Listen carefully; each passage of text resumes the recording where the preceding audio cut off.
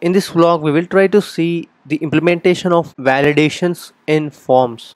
So using getx library. If you have followed our previous tutorials we have seen various functionalities using getx library implementation. So now in this part we will be seeing how we can verify or validate the forms. So now let's get started.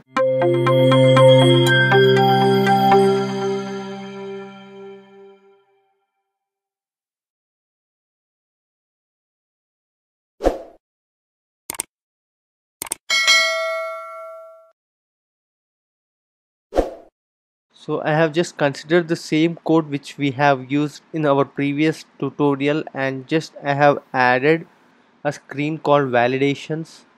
So here you can see we are in the current screen like validations and now try to import the material.dart so these are all the basic things we do for every screen.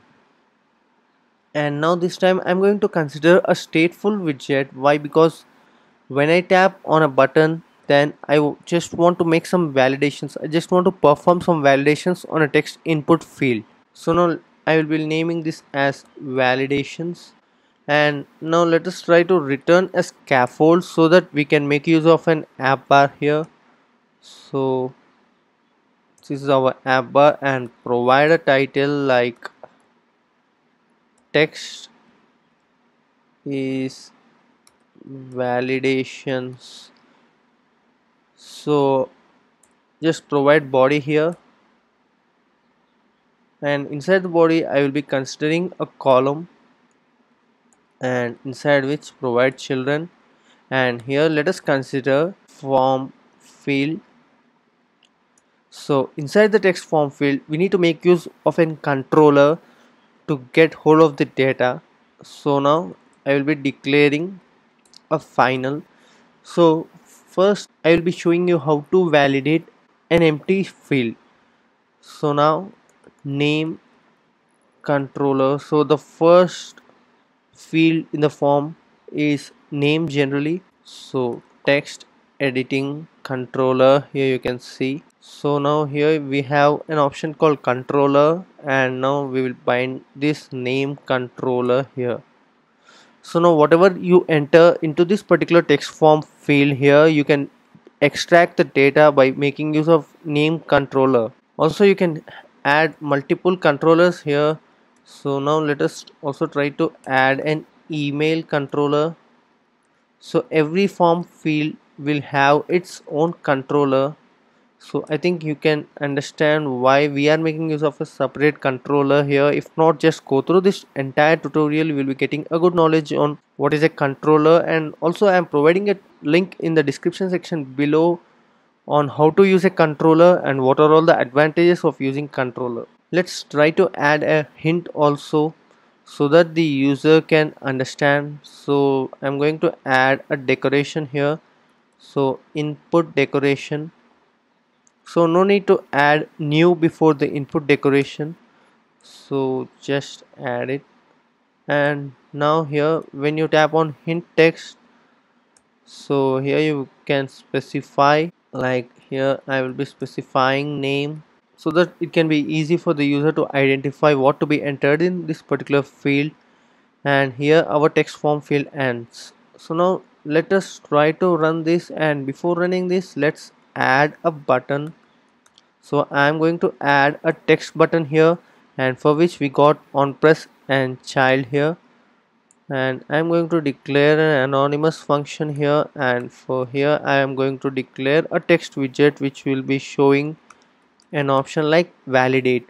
So here using this particular tutorial I'm just going to explain you validations in a very simple way and you can change this according to your requirements. So now let's try to provide some validations here. So for making use of validations you need to have get utils. Let's try to see the validation for name. So let us try to see what are all the options we are having here.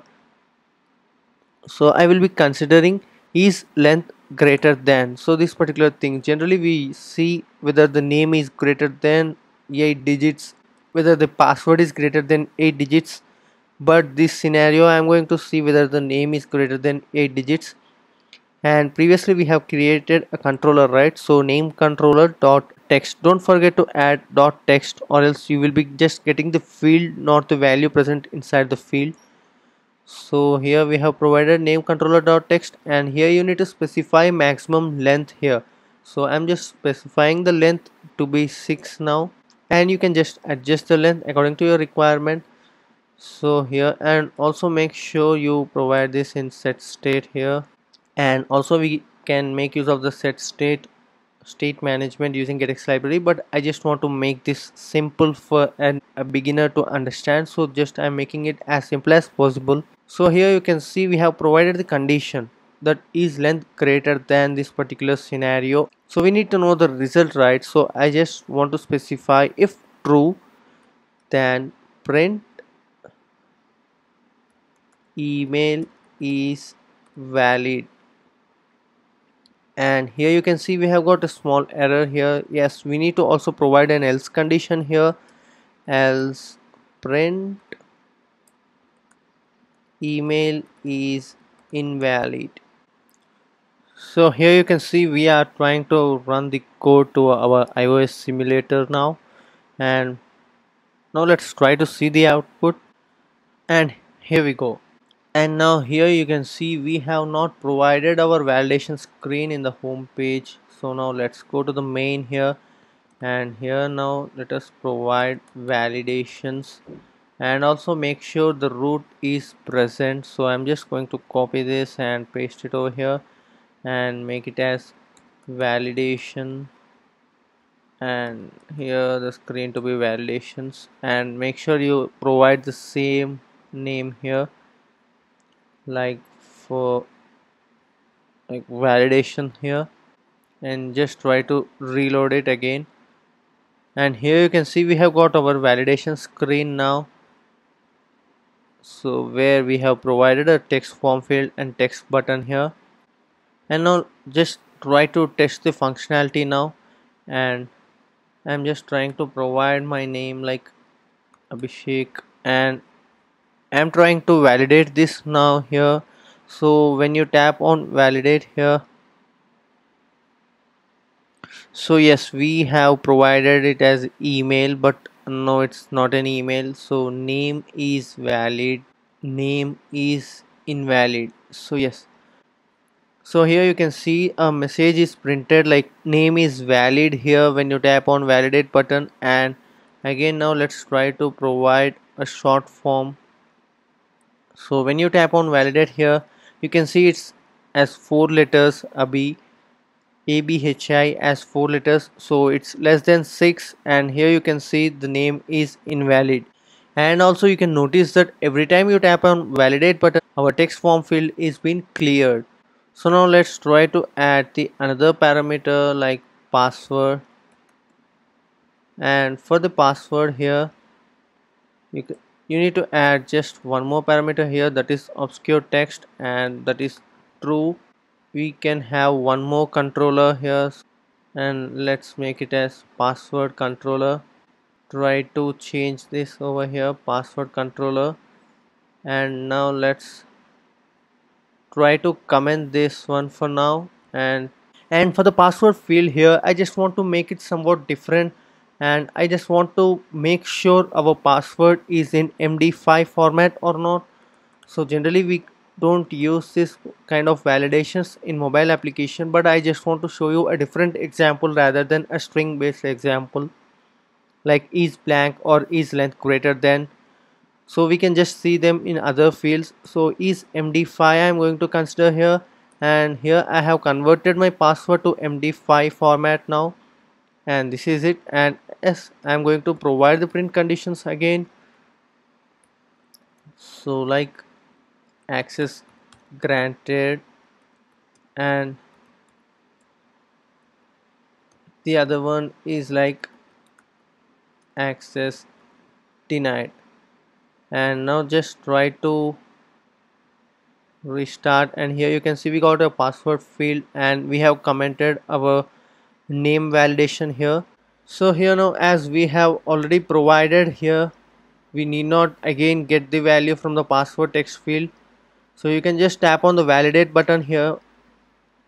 And here you can see we have got access is granted. And whenever you try to remove some data from here and try to restart it. And when you tap on validate here you got access is denied because that is not a proper md5 format there. And if you want to know how we can convert a string to md5 format do let me know in the comment section below. I will help you how to make it. So again this is generally an optional thing and i don't suggest this for a beginner level validations. And now let's try to see email here. So why it's an important field is like generally we make use of email to log into our applications. And nowadays we are just making use of mobile numbers also based on OTP and using the above two examples I think you can perform the validation over the email field also. So I'm just going to pass this video here and you can just try for the email validation and if not you can just get back to our video and we will be seeing how we can also validate an email field here. So yes now let's try to see how we can validate an email field. So it's just simple as we did for the string or the password. You have an option like is email. So here you can just specify the email controller dot text and also you can just specify those two print statements here. And also you need to add an email field. Yeah just we did. And we don't require obscure text here. And previously we have made use of an obscure text here. So in the password field whatever you entered so it will be obscured automatically. And this is not required for our email field. And now try to reload the code here. And here you can see we got an email option here just try to enter a name here and here you can see email is invalid. And now when you follow a proper structure like at the rate email.com so here you can see we got email is valid. So we have seen the both the conditions like true and false here. Not only this there are also various options available here. So when you go to get utils and here you have is blank is palindrome so is camel case so you can just make sure your word is, is in camel caps capitalize so is apk you can just provide your file path here and it will validate whether it is an apk or not is an audio file. So whenever you're trying to play a music file and you can just make use of this particular validation here. So in our general programming we don't validate whether our file is an audio file or not right? So before making use of it so here by making use of a getx library you can also validate this over here. So here is bool here. So making use of which you can just make use of whether it's true or false and can go ahead. So is case sensitive? So whenever you make use of a case sensitive password so you can just make use of this here and also there are various other options. I think you can make use of them easily by following this tutorial from from starting. You can get the knowledge on how to make a validation how to make a text form field. Just considering a beginner level i'm just saying that how to make a text form field how to add a controller and how to provide a basic hint. And I think these are all the basic requirements and over which you can just add few more additional parameters which you require and here you got IPv4 and IPv6 also. So these are all the high level validations. So I don't think a beginner may need these things. His number is also there and we can just provide our mobile number there and you can just uh, add the mobile number field here and you can validate it whether is a mobile number or not. And again if we go down there are so many things here. Is SHA-1 and uh, is PDF and so this is it for this tutorial and I just want to conclude saying that if you are a beginner and watching this tutorial for the first time on our channel I suggest you to watch through our entire GetX playlist.